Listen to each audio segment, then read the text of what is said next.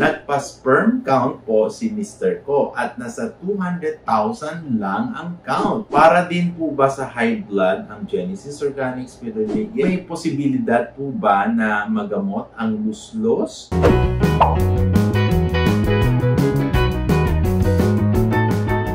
Hello and welcome to this channel. Ako po ang inyong friendly urologist na si Dr. Joseph Lee.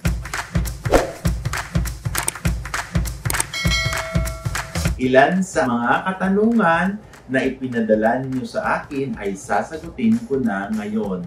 Dahil dito sa aking channel, tanong nyo, sagot ko mula kay Ate Melody TV. Good day, Doc! Nagpa-sperm count po si Mr. ko at nasa 200,000 lang ang count. Nako, medyo mababa at may iba pang patay or siguro hindi multi. May pag-asa po ba kami magka-baby? Salamat po sa inyong sagot. Ano ba ang normal sperm count? It should be 60 million. So, you should have 60 million normal sperm count na 80% to 90% motile. Kung ang sperm count nyo ay mas mababa, kagaya ng 200,000, dapat nating i-work up yan, anatomical, hormonal, at yung mga series of workup na male fertility para pa ipataas natin. Importante kasi yung mga tingnan natin yung struktura, kung may anatomical obstruction like varicocele, kung mababa ang testosterone.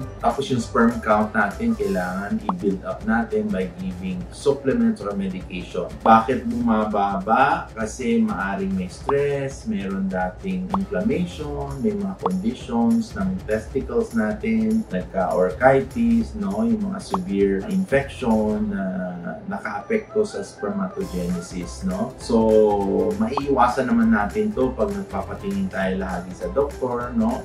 If you feel that there are symptoms, signs and symptoms that you feel that are not very common, then magpatingin ka. Lalo na pag yung mga nagbabalak magpakasal o bumuo ng pamilya. Okay? From Brent Adrian Official. Doc, may posibilidad po ba na magamot ang luslos kapag sinlaki na ng kamatis? Yun sa akin kasi, Doc, ganyan na kalaki mga 4 to 5 days na. Ang luslos kasi ang hernia ay surgically corrected, no?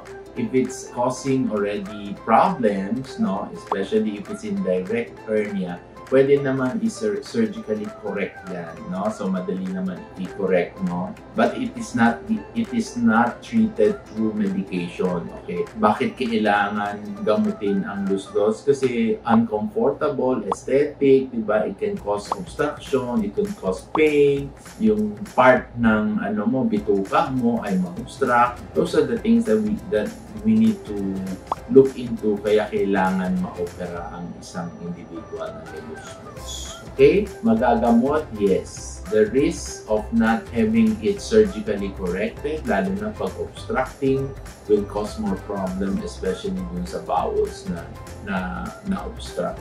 Okay? From Jelski Papogs, para din po ba sa high blood ang Genesis Organic Spirulina? Yes, no? It has polyphenols and your flavonoids that are very, very good for the, the cardiovascular system and for the better flow of blood, especially if may high blood ka.